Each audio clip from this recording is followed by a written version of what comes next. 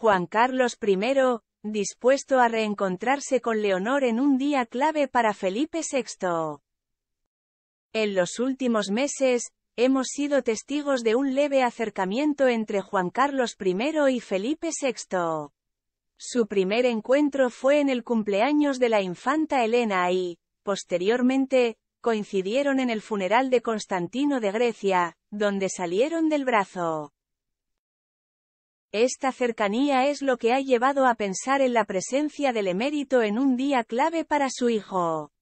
Un día en el que el rey jurará bandera ante la atenta mirada de Leonor, quien podría coincidir con su abuelo en un acto institucional. La fecha será el próximo 4 de mayo en Zaragoza y todo está listo para el reencuentro de las tres generaciones de monarcas. Esta semana tendrá lugar un acto donde Felipe VI desempeñará un papel fundamental. El próximo sábado 4 de mayo el rey celebrará los 40 años de su promoción en el ejército de tierra. El lugar escogido para el evento ha sido la Academia General Militar de Zaragoza, donde Felipe jurará de nuevo la bandera. Se espera la asistencia de Juan Carlos I así como hizo cuando hace cuatro décadas vio a su hijo jurar la bandera por primera vez.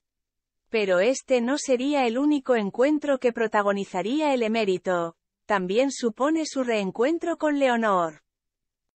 La primogénita y futura reina estará presente en el acto conmemorativo, participando en la formación en el patio de armas.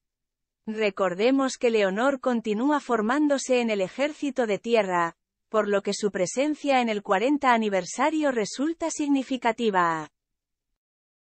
Estaremos, pues, ante el primer acto de este calibre que Juan Carlos presenci con Leonor como cadete.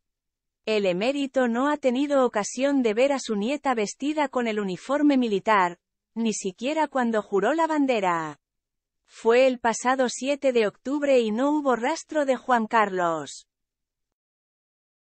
Tampoco estuvo entre los presentes cuando la sucesora al trono juró la Constitución al cumplir la mayoría de edad.